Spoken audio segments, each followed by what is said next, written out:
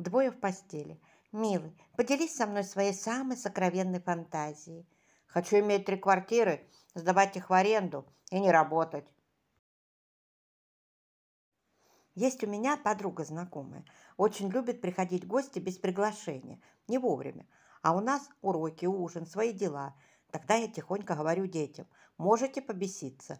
И моя арава из трех детей начинает сходить с ума.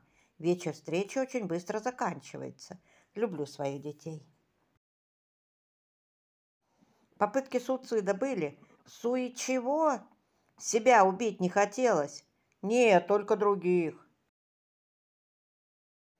У женщины, всю свою жизнь проработавшей упаковщицей, в жизни всегда все складывается. Ведущий. Вы не победили. Ну, как вам понравилась самогонка? Самогонка нам понравилась, потому и не победили. Мы с женой встретились на дискотеке. Ой, как это романтично. Куда уж романтичнее.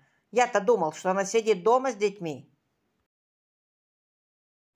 Приходит бизнесмен домой, садится за стол, открывает записную книжку и делает в ней галочку. Так, долг перед банком погашен. Жена, Коля, ты знаешь, я тебе сегодня изменила. Бизнесмен делает вторую галочку. Супружеский долг тоже. Остерегайтесь мошенников.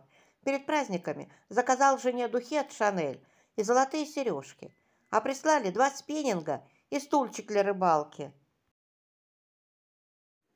Сегодня с мужем выбирали место отдыха на отпуск. Диван смотрели, что ли?